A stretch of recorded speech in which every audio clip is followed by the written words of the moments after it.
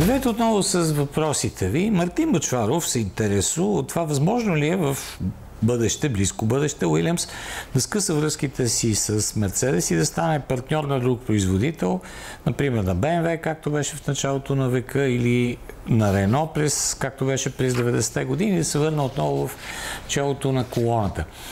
В крайна сметка Уилямс подписа нов контракт с Мерцедес и то доста дългосрочен напред във времето и така в обозримо бъдеще аз не виждам как връзките между тези два екипа ще бъдат прекъснати. Напротив, те се задълбочават. А, сега, доколко това е добро за Уилямс и помага на, на Уилямс в тяхното развитие, на настоящ, настоящия етап мисля, че е абсолютно а, перфектната комбинация, защото те взимат все повече ноу-хау от Мерцедес.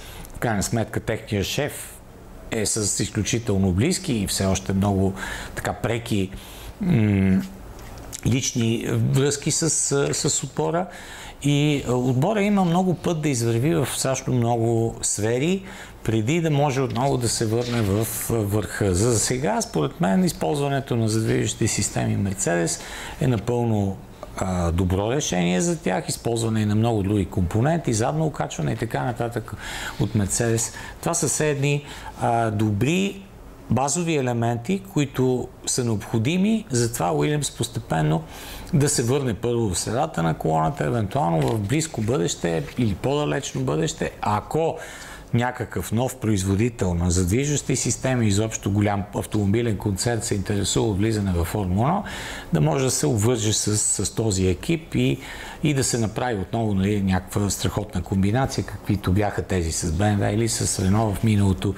А, не съм сигурен доколко това ще се случи в така обозримо бъдеще, защото знаете, с влизането на новите правила, не случайно така, те бяха доста дълго време изработвани, започна тяхната подготовка много-много назад във времето, за да могат да се включат възможно по-голям брой а, големи концерни. Единствено Ауди в крайна сметка е новата голяма компания, която ще бъде във формулата.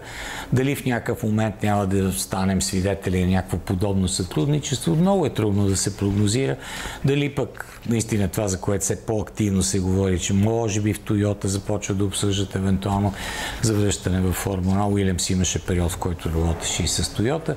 Това са е, така доста далечни перспективи и според мен за момента това, което Уилямс направи в последната година, година и половина, две години е, е наистина доста добре подредена и а, правилно изпълнявана програма за развитие. Така че а, работата с Мерцедес не мисля, че пречи на Уилямс. По-скоро в, в момента им помага, дава им добра база. Сега с присъствието и на Карло Сайнц от следващата година пилотския състав ще бъде още по-силен. Сайнц идва и с доста опит. И постепенно, стъпка по стъпка, след като прескочиха тази година, наистина технологично се промени начина по който правят колата си. До година тя би трябвало да е доста по-добра и евентуално при едно добро развитие пък на задвижещата система на Мерцедес, нещо, което а, мнозина смятат, че е напълно възможно. Нали? Сега слуховете са безкрайни. Кой е по-напред в програмата за 26-та година.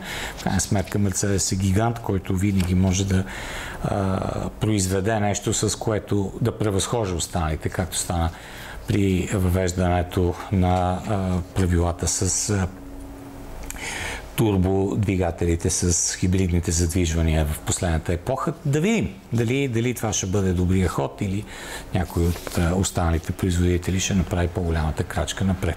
Така че това бих могъл да кажа по въпроса. Благодаря за него. Ще бъдем отново заедно скоро.